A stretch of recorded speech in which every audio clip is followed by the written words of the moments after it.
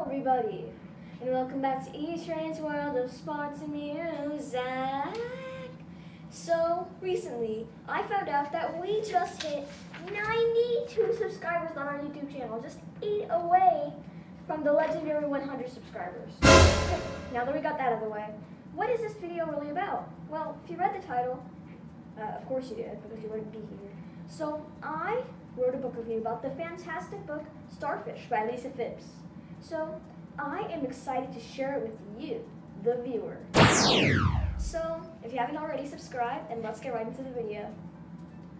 What is this book all about? Well, Starfish is about a girl named Ellie who's been criticized for her weight for her entire life. Ellie's mother and siblings discriminate her and are never supportive. At the beginning of the story, all Ellie had was her father and two best friends. Eventually, her parents take her to a therapist to help her find ways to eat healthier and for her to get ready for wait, what? Weight loss surgery? That's right, even though Ellie isn't old enough, her mother is eventually going to force Ellie to have weight loss surgery unless she starts dieting. Although the mom's plan backfired, the therapist understood Ellie and helped give her courage and self worth. She made Ellie feel like being a little overweight was a good thing. With her new self worth, Ellie stood up to her bullies at school and at home. She was a new girl.